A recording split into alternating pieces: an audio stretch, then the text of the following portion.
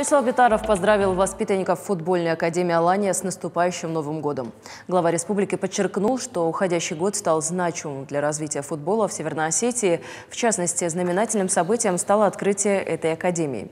Вячеслав Битаров выразил уверенность в том, что занятия и тренировки, которые проходят под руководством опытных тренеров и преподавателей, станут отличной профессиональной школой для юных футболистов.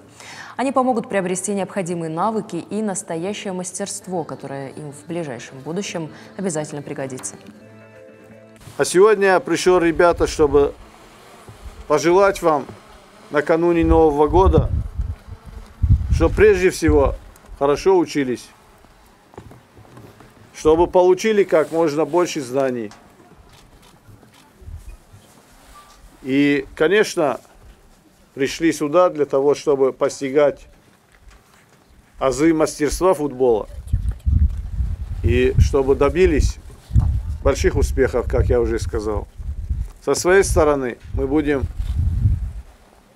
продолжать укреплять материально-техническую базу футбольной Цели они всегда есть, да, и цели самые высокие. Э, впереди в марте месяце у нас Россия, и у нас стоит задача именно выйти в финальную часть.